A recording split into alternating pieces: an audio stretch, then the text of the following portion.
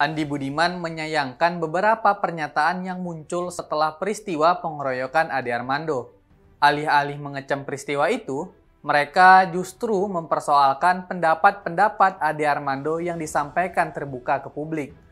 Menurut juru bicara Partai Solidaritas Indonesia atau PSI itu, hal tersebut bukanlah standar etika kehidupan bersama.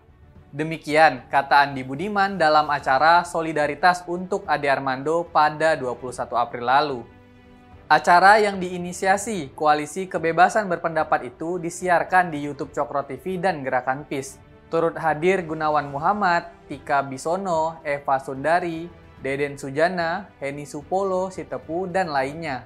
Andi menyatakan sikap pertama yang harus ditunjukkan ketika terjadi tindakan kekerasan adalah mengutuknya. Ini penting supaya kekerasan tidak menjadi sesuatu yang normal, supaya cara-cara barbar tidak dibenarkan. Adapun soal pendapat-pendapat Ade Armando yang dianggap tidak tepat, bisa disampaikan dan didebat setelah dia pulih. Apalagi Ade Armando selama ini menyampaikan pendapatnya secara damai dengan beradu argumentasi. Andi juga menyoroti pendapat yang menyalahkan pengeroyokan terhadap Ade Armando itu akibat polarisasi politik.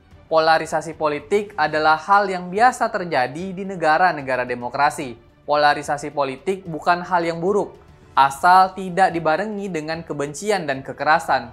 Tidak boleh ada pembenaran atas tindakan kekerasan apa pun alasannya. Salah satu penggagas koalisi kebebasan berpendapat itu mengajak masyarakat bersikap tegas dengan segala tindakan kekerasan.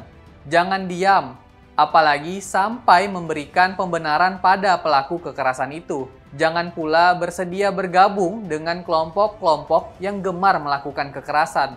Tidak boleh ada toleransi pada kelompok intoleran Bang Ade menjadi korban pengeroyokan pada 11 April lalu di depan gedung DPR RI. Bang Ade dipukuli, ditendang, bahkan berusaha ditelanjangi. Tindakan biadab itu dilakukan sambil memekik Allahu Akbar, habisin penista agama, halal darahnya. Ayo sama-sama kita kawal kasus pengeroyokan Bang Ade Armando.